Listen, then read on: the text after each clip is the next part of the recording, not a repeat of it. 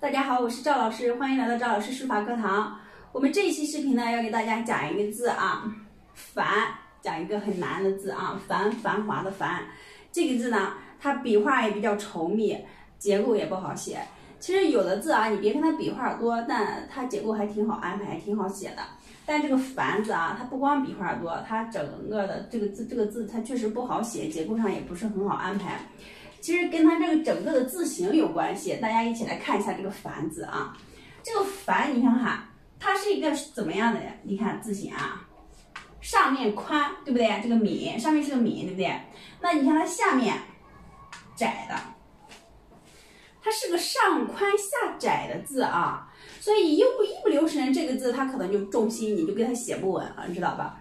哎，不像我们写那种，就是上面这，因为这个上下结构嘛，我们写这种就是说上窄下宽的，哎，这种字我们比较好控制，比较容易写稳。因为这个字啊，它也是越往下越宽，它越显得稳，越显得稳固，是不是？那你看在这个字里面，它上半部分是个米，又写的本来它就宽，下面呢它又这样窄。而且呢，这整个字里面它也没有一个长横呀，像撇捺这样，哎，可以起稳固作用、起平衡稳固作用的这样的笔画。所以呢，你看这个字我们就要更小心的去处理，把它上面上下都给它平衡好，尤其是上半部分这个米一定要写端正，给它平衡好了，不然这个字你一不小心就肯定能重心不稳了。所以，所以导致很多人这个凡字写出来啊，你看着不舒服、不端正，就是这个原因啊。哎，那你看这个敏，大家一定要注意啊！敏这一部分，我们一定要给它写正了，千万不要取斜视啊！这个敏一取斜视，斜视，你要知道它下面没有一个笔画可以说把它给平衡过来了，它不像我们写那种，哎，像草字头、雨字头，就说那种上下结构，上面下面有撇捺、有长横，对吧？哎，可以给它平衡一下的。哎，没有下面没有这样一个笔画可以给它拉回来。比如说你上面这个敏取斜是往上斜了，你这样往上斜上去了，那好，下面你看它是正的，那这个字你看它整个都不协调了，对不对？哎，它不像那种，就是说我们比如说那个举个例子，像那个露水的露吧，对吧？哎，雨露的露，露水的露，上面雨字头，你看我们一般呃可以取斜视，就是说扛肩往上倾斜一下，那雨字头下面有那个露，有个捺，哎，可以给它拉回来往下，给它可以可以把整个字的势态给它拽回来，是不是？重心给它拽回来。但是这个没有啊，你看它下面没有一个往下，对吧？哎，没有一个平衡的，没有一这样一个平衡的这个笔画，所以我们这个米就要求我们这个米一定要写稳，一定要写稳啊，对吧？啊，你看这个敏上半部分，横往左延伸，捺往右延伸，大家要注意了啊。这个敏字，你看它这个左右结构，它本来这个美，左半边是不是分量重一点？因为左半边笔画比较稠密，每天的每这半边分量重一点，是不是？所以这半边大家一定要写紧凑啊。你千万不要，这本来这一半边它笔画就稠密，如果你把美再写胖写大了，那毁了。那这个反文旁你得写成啥样能给它压住了，是不是？所以美这半边大家一定要注意写紧凑，尤其是肚子这一块，看见没有？把它给写紧凑，不要写大，不要给它写大了。再一个，反文旁这里这个捺伸出去，这个捺要伸出去，伸出去不说了，你还不能给它翘起来，对吧？哎，你还得压住了。因为这边分量重，所以你这个捺还得压住了。你要不压住了，这个字，你看它整个就是左重右轻，可能就这样了，是不是？左边重，哎，右边就轻了，看见没有？所以呢，你看这个米在上半部分，你想把它，你想把它给写稳，那你就要注意，每天的每这半边我们要写紧凑，给它收紧，然后横呢，横不要放的太长，放的太长的话，它可能对吧？这个边这半边重量可能会大一点。也不要这个美，不要斜的太狠，这个这这个这个横，哎，有人这样斜，对吧？哎，斜的太夸张，那你看这边就更显得重了，是不是？也不要放太长，你往外放，往外放，但不要放的太长。就是说你这个横，呃，横放的不能有捺长，对吧？那个捺要比它稍微长一点，就往外放的更长一点。而且这个捺是要压住，往下压住，往下来，不要这样，不要这样，对吧？你一翘起来，你就压不住这边美的重量了，注意没有？所以你要尽你可能把上面这个米给它写稳，写平稳它，它要端端正正的，你感觉这样稳稳当当的站在上面，一定不能斜，一斜就毁了。下面没有一个笔画可以平衡它，把它给它，把它再给它拽回来。这个下半边呢，要注意的问题是什么？要紧凑，要紧凑。你有的同学啊，他下半部分你看他写的收不紧，他就写的又扁又宽这样的。尤其是你看第一个撇折这样，你看够扁了，他越写越往外，这样一个比一个宽，他是这样写的，看见没有？哎，上面一个这样，下面一个直接也比它宽了一大截，不要这样写，你这样写真的是要丑死了啊！这个字你要想它写好看，不光上面要稳，上边你还得写宽放开，下面呢你还得写紧凑，它还得有这样一个对比，上宽下窄，你看。你下面如果再写着跟纸筒子似的，上下一样宽，它还能好看吗？不好看，不漂亮啊！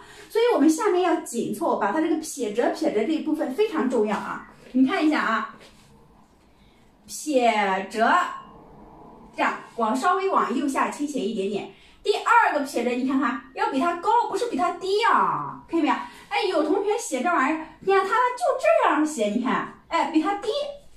那你在这里不要这样写啊！它是这样的，你看，哎，这斜斜，它是斜上方，在它的右上方，你看这样。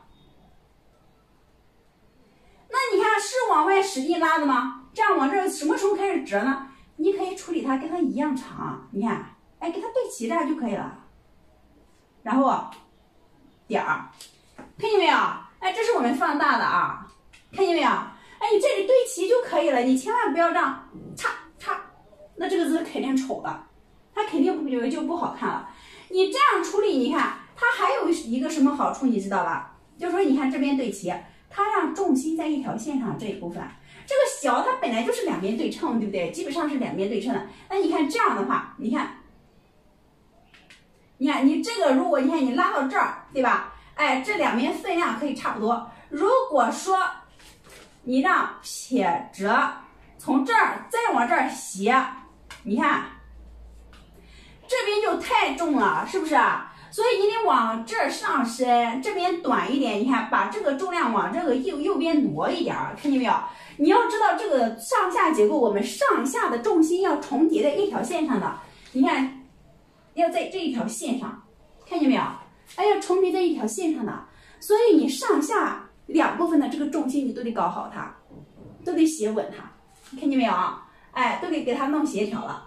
我们现在来具体的看一下这个“繁”字的书写吧。这个字不简单。哎，我们现在来看一下。好，我们现在一起来看一下这个“繁”字的书写啊。上下结构从上往下书写，你看，注意细节啊。看撇，哎，没写出来。撇，然后你看横，这个撇不要拉太长啊。下面这个美，你看写紧凑啊，写紧凑，它本来的笔画就比较稠密，如果你要再写大写胖，上面可能就会太重了啊，这边就太重了。然后竖折这一部分大家注意了啊，这个折笔你可以处理成平的，总之不要斜的太狠，看见没有？哎，这里一定要收紧啊，你看横折。露出一点点就行了，不要露出太长。不管是这边的横还是这个小小竖，露出一点点就可以了啊。收紧，你看点儿，这个这一横，你看不要往外延伸的太多。这样这边也是露一点点啊，然后点儿，看见没有？哎，这半边你看收紧啊，这脏的我就不擦了，大家看一下整体这个形态就可以。你看这一部分收紧，横不要往外放的太多。然后你看右半边。撇，这个它两边是有错位的啊。这个反文旁的横，你别给它对齐啊。哎，一定要比它略低一点。你要对它对齐的话，它就不好了。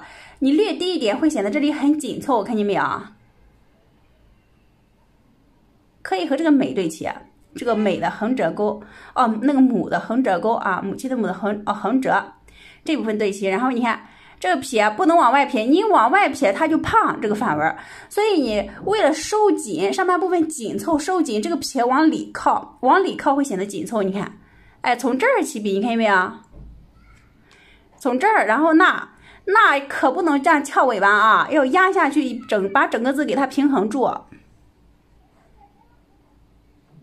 哎，你看这样看的话，你看这个抿是不是写的就非常的端正了，对不对？即使没有下半部分，你看这个抿是不是看上去很端正？那我们来看下半部分啊，从这起笔，注意撇折不要写大了啊，这很小很紧凑的。你要知道，你下面要写紧凑，上面宽不是吗？对不对？哎，第二笔你看，哎，是在它右上方开始写的，你看撇折到哪啊？可以给它对齐啊，可以给它对齐，你不要往外延伸太多，在这儿就可以了。你看哈，哎，点儿，你看这一部分是不是就紧凑了，对不对？然后竖钩，要保证竖钩是整个字里面最低的部分，然后点儿，再来一点儿，看见没有？哎，这就是这个凡字的写法啊，大家一定要注意，上面一定要稳。这一部分要紧凑，你这个上宽下窄，这个对比也要出来的。你看看，这边要窄，然后上面要宽，是不是啊？哎，好，我们这期视频这个“凡”字就讲到这里了。